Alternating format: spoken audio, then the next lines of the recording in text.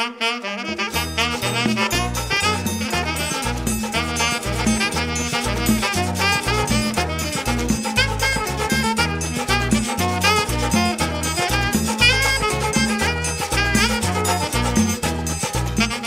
day. We are celebrating Liberty Day, D. Hamilton Jackson. My name is Olasee Davis from the University of the Virgin Islands, a professor. Over the years, we have heard many wonderful thing about D. Hamilton Jackson. He was born in September 28, 1884. 36 years after emancipation, 1848 and six years after 1878 fireburn. So Jackson, through oral history from his parents or grandparents and others in the community, learn about the history of these islands. And so Jackson have a love for these islands, especially for farmers. Many times when we celebrate his birthday, we never talk about the farmers and their contribution that they make to these islands. So let me go back a little back in history. In 1848 and 1849, they established a contract. And the contract was basically written by the planters and the Danish government. And the planters, or I could say the laborers, didn't have no say in the contract. 30 years after, you have the fire burn because of the poor situation in the Danish West Indies throughout the estates. Jackson came on scene and his time situation here in Ireland was still hard. How people live on the plantations as going back to the 1848, 1878, and condition was terrible, especially for the working people. St. Croix at that time, major economy was sugarcane. And so Jackson went to Denmark and he gave permission to publish his paper, The Herald, that happened on the 1st of November 1915, and also he was one of the members that established the labor union. Because of Jackson's love for the people and for farmers, the union purchased Estate Grove Place and purchased Hard Labor. This estate Hard Labor, where we at about 100 plus acres of land, fertile land from Flat Valley up to the mountains. I have some pictures to show you to get more understanding.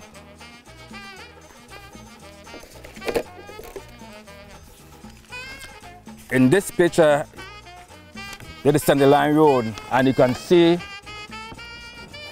the plow in the field with the axe, and the jam down man standing up watching them. You can see the you can see the palm trees, or royal palm tree, or we call cabbage palm, along the road.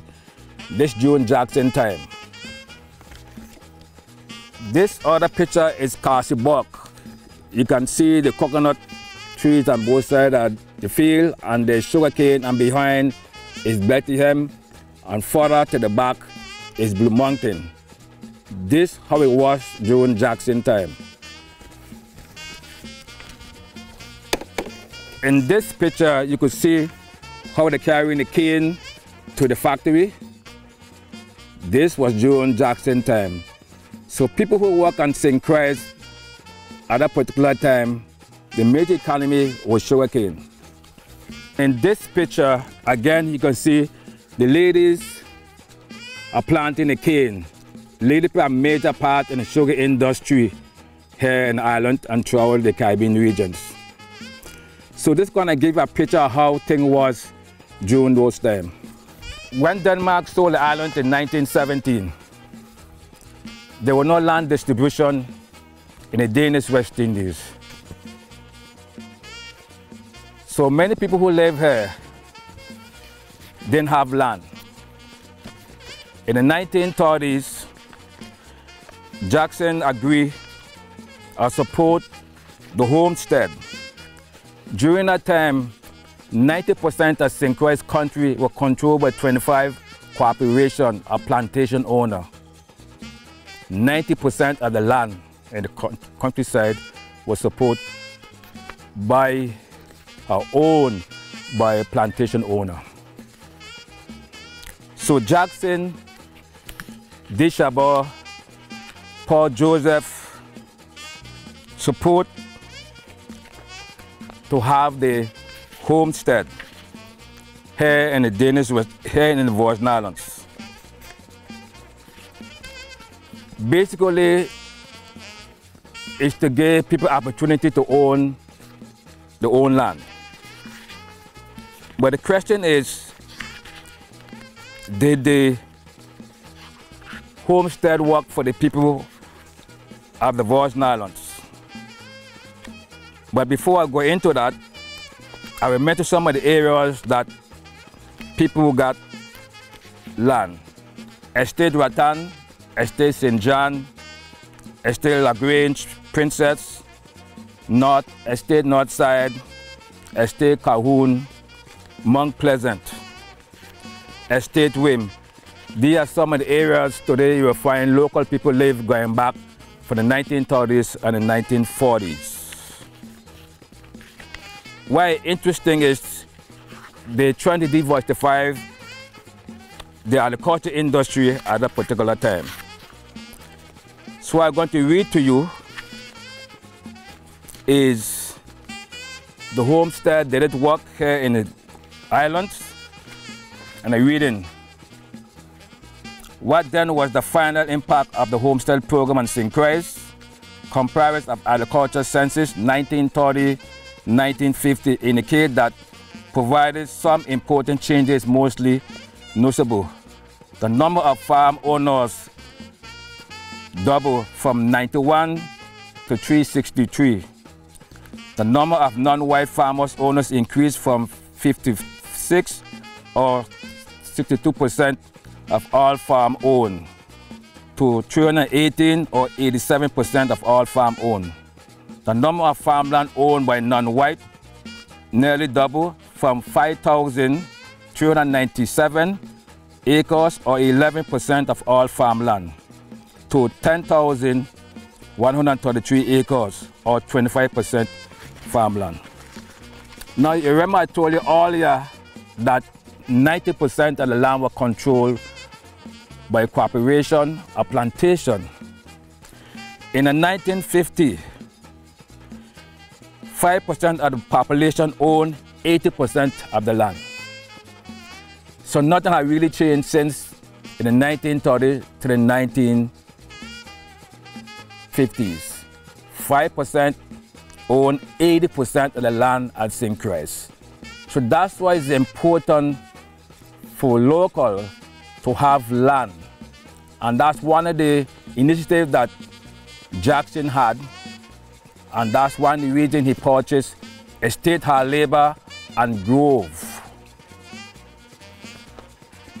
Where we are today, it's Estate Hard Labor. This is part of Hamilton Jackson and those members of the labor union. As you look around, you can see um, the forest, a mango tree, genips, and go right up to the mountain areas. If you hike inside in there, you will see old ruins and sugar factories that our ancestors have labor.